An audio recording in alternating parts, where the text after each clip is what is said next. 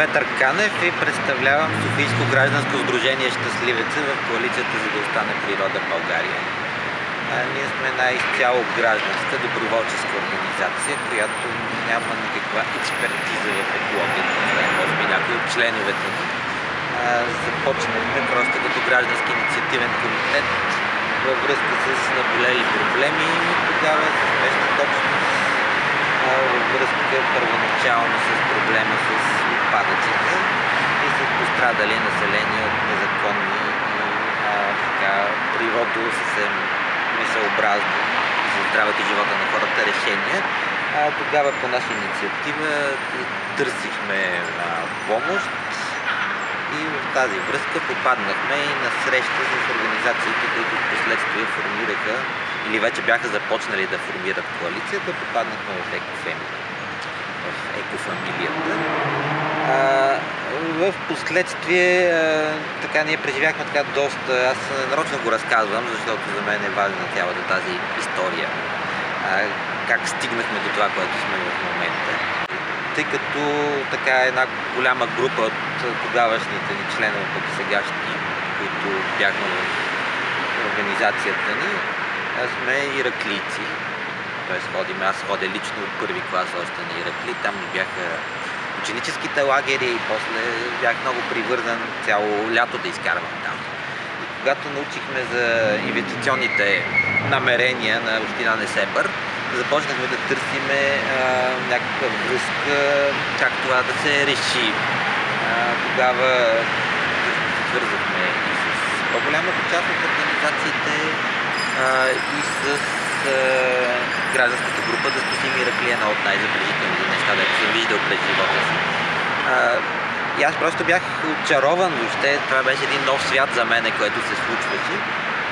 И в тази връзка ние изобщо се регистрирахме като организация. Основната цел беше да, даже не толкова да печелим проект, но да ви речи по-скоро с малки средства и с доброволческа дейност осъществяваме дейността си. Колкото беше тогава да съдим, да имаме някакво юридическо лице, тежест. А, и организирахме една подписка за Черноморието тогава. А, това, нали, това беше нашия принос към групата да спасим Иракли на щастливеца. И а, така, с експертизата на пък експертите от а, биологичната експертни организации на Андрей Ковачев изключително много. И покрай тази подписка всъщност а, може да се каже, че ние е, е, формирахме коалицията, защото когато трябваше да връчиме подписката в парламента а, и в Европейския парламент, искахме да излеземе с нещо единно. Нали, преди това вече имаше екофамилия, но в този формат, за да остане природа в България, цялата визия на коалицията беше зададена от всъщност една чисто гражданска, много младежка, пълна с ентусиазъм студентска група, а, да спасим Иракли. И изключително логата, цялата тази енергия, целият ентусиазъм на коалицията се формира тогава и ние щастливеца сме а, така сред учредителите, още от самото начало на коалицията, като една друга альтернативна, по-широка гражданска, чисто природозащитна организация, свързана с защита на много по-широк спектър от неща, например културата, човешките права и свободи, демокрация и много, много по-широк правото на образование е за мен много важно. И освен това, по-голямата част от нас бяха в покриват една сфера, която въобще не беше типична по това време за коалицията. Сферата на хуманитарните науки, на образованието, на висшето образование по-специално. И с това ние винаги сме били полезни в нея. В един момент, участвайки просто така на сляпо да гасим пожари, защото това е основната дейност на коалицията и до ден днешен, с регулярни срещи имаше тогава в Министерството на околната среда и водите всяка седмица. и тъй като ние освен това сме доброволческа организация, всеки от нас има друга професия, която той си има работно време от 9 до 5. След това има деца да гледа и така нататък. Просто вече не издържахме да се разстрояваме и започнахме да мислиме в посока как цялата тази дейност на природозащитната коалиция ние да сме най-полезни за нея в това, което а, разполагаме нали, в собствената си градина, като ресурс, като познания, като умения. И организирахме една много голяма кампания с проект, който беше спечелен. Тогава място за бъдеще, който прерасна в една образователна мрежа, сайта ми се казва така, и образователната мрежа е налична. Тя прерасна, освен нали, с българските така институции, образователни, институти на БАН, университети, най-големите университети в България.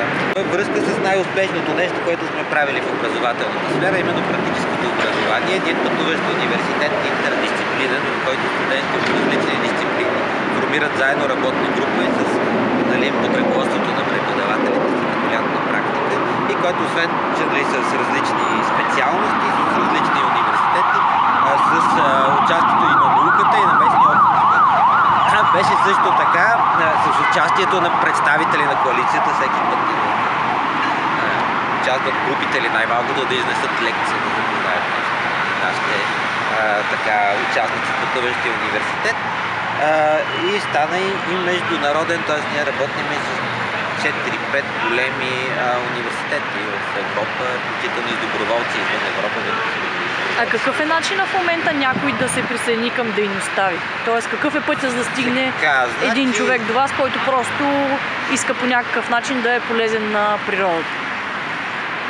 А, еми, значи на сайта ни има обратна връзка. Имаме естествено всички канали там, Facebook. А, някакви да, програми, контакт, който веднага... ти предлагате ли за деца, за възрастни, има ли ограничения във възрастта на хората, които Сега, значи проблемът всъщност в момента беше, че покрай COVID цялата образователна сфера, нали, не само доброволците в образованието, просто пострада много значително, особено пък практическото образование, защото този пътуващ университет, както се е, нали, сещате от името, той е свързан с пътуване на групи от хората, един вид образователен туризъм. Ние обикаляме северо-западна България с център Чипровци.